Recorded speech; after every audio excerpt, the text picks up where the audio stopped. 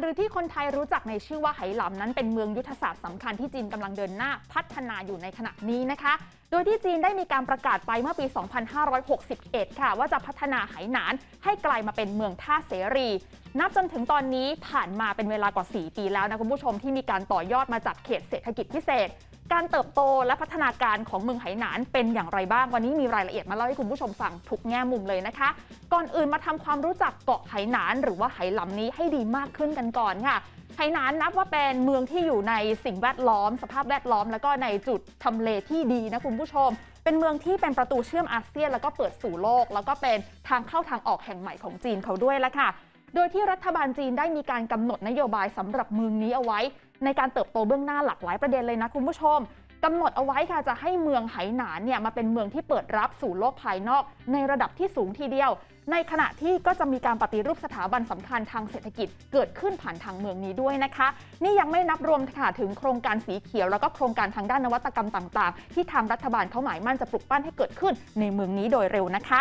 และเมื่อไม่นานมานี้คุณผู้ชมทางฝ่ายของประธานาธิบดีสีจิ้นผิงของจีน ก็เพิ่งจะมีการเดินทางเยือนเมืองไหหนานค่ะ นี่ได้เป็นการเน้นย้ำนะให้เห็นถึงความสำคัญของเมืองไหหนานเป็นอย่างยิ่งนะคะ เพราะว่าผู้นำของจีนก็ได้มีการย้ำด้วย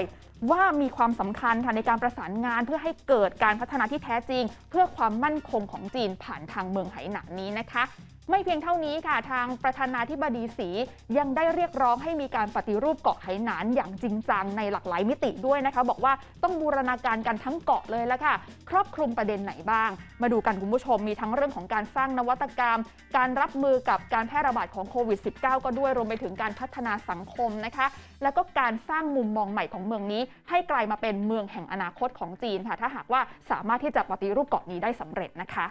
ท่านผู้ชมครับคุณแอมมี่ฮะเกาะไข่หนานเนี่ยนะครับคำว่าไข่หมายถึงทะเลคำว่าหนานเนี่ยนะครับก็คืออยู่ทางใต้นะครับคนไทยเราจะเรียกว่าไข่หลำแต่ว่าเกาะแห่งนี้เนี่ยไม่ได้มีดีแค่ข้าวมันไก่นะครับเพราะว่าหัวใจของเกาะไหหนานณเวลานี้เนี่ยนะครับอยู่ที่ท่าเรือและก็เขตเศรษฐกิจหยางผู่นะครับ ซึ่งเป็นเขตสำคัญนะครับที่ท่านประธานาธิบดีสีจิ้นผิงเนี่ยเน้นย้ำให้มีการพัฒนาท่าเรือขนส่งตู้คอนเทนเนอร์แห่งนี้ ไว้สำหรับใช้บริการให้เส้นทางขนส่งสินค้าทางบกทางทะเลในภาคตะวันตกของจีนนั้นเป็นไปได้อย่างราบรื่นนะครับ เพื่อเชื่อมต่อยุทธศาสตร์สายแถบและเส้นทางหรือว่า Belt and Road Initiative ที่เรียกกันว่า BRI นี่เองนะครับ เพื่อที่จะส่งสินค้าเนี่ยนะฮะ ออกไปยัง ประเทศในกลุ่มเอเชียตะวันออกเฉียงใต้ และประเทศฝั่งตะวันตก รวมไปถึงแอฟริกาและเอเชียใต้อีกด้วยนะครับ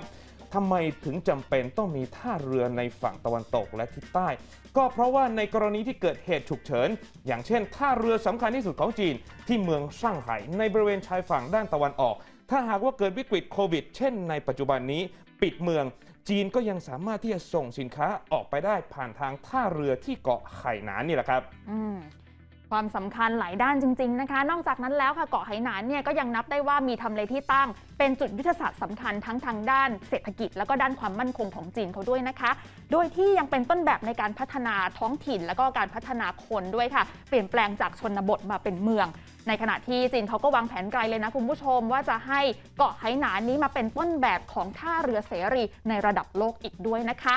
ทีนี้ตอนนี้ค่ะนับจนถึงตอนนี้ผ่านมา 4 ปีแล้ว เกาะไหหนานมีการพัฒนาจนสำเร็จรุ่ล่วงด้านไหนไปแล้วบ้าง วันนี้มีรายละเอียดมาฝากคุณผู้ชมกันด้วยนะ กับความสำเร็จที่เกิดขึ้นแล้วที่เกาะไหหนานค่ะ จีนได้ประกาศนโยบายเอาไว้ 150 ข้อนะคะในการสร้างเกาะนี้ให้เป็นเมืองท่าเสรี และก็มีการสร้างไหหนานให้เป็นเมืองสินค้าที่ปลอดภาษีหรือว่าดิวตี้ฟรีไปแล้วเรียบร้อยนะคะ มีการนำเอาทุกนวัตกรรมมาใช้ในการปฏิวัติ การปฏิรูปเชิงลึกค่ะ แล้วก็นำเอานวัตกรรมนี่แหละ มาใช้เป็นการขับเคลื่อนเศรษฐกิจหลักนะคะ โดยที่ผ่านมามีโครงการทางด้านนวัตกรรมที่เกิดขึ้นในเกาะไหหนานนี้แล้ว มากถึง 123 โครงการด้วยกันคุณผู้ชม จากศูนย์บ่มเพาะเทคโนโลยีทางการเกษตรนะคะในศูนย์วิทยาศาสตร์เทคโนโลยีอ่าวยาโจค่ะ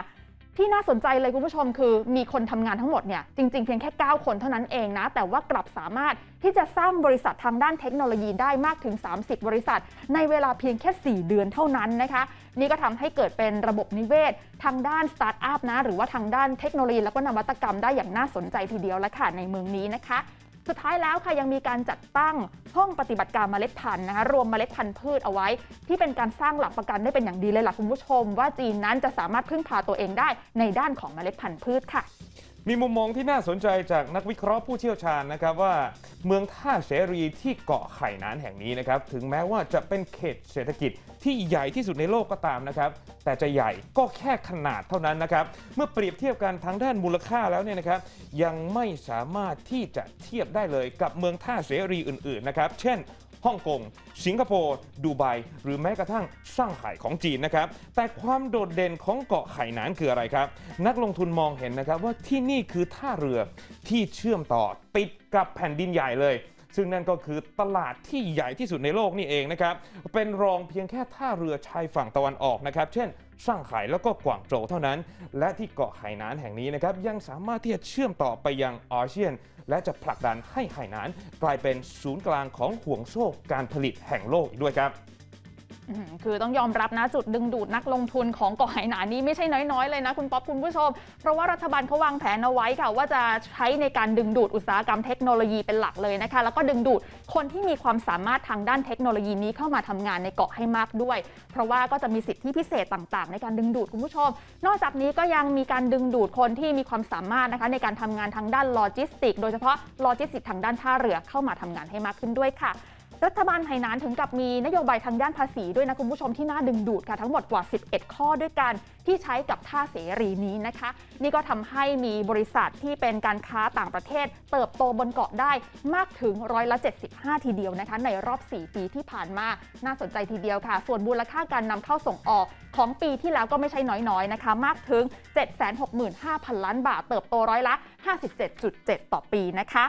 และอย่างที่บอกละคุณผู้ชม คือเกาะไหหนานเนี่ยไม่ได้มีดีเพียงแค่ทางด้านเศรษฐกิจเท่านั้น แต่ก็ยังเป็นยุทธศาสตร์สำคัญของจีนทางด้านความมั่นคงด้วย เพราะว่ายังมีคำกล่าวของประธานาธิบดีสีจิ้นผิงด้วยนะคะ เคยประกาศเอาไว้ค่ะ ว่าเกาะไหหนานเนี่ยจะเป็นประกันป้องกันภัยทางด้านความมั่นคงของจีนด้วย เพราะว่าก็เป็นทางออกสู่ทะเลจีนใต้ด้วยนะคะ และยังเป็นสะพานเชื่อมสู่โลกสู่อาเซียน เป็นฐานการค้าที่ยืดหยุ่น แล้วก็เปิดรับโลกภายนอกได้เป็นอย่างดีค่ะ สุดท้ายแล้วเนี่ยก็ยังมีบทบาทสำคัญในด้านของความมั่นคงทางด้านพลังงาน และก็ก๊าซในอนาคตของจีนต่อไปด้วยนะคะ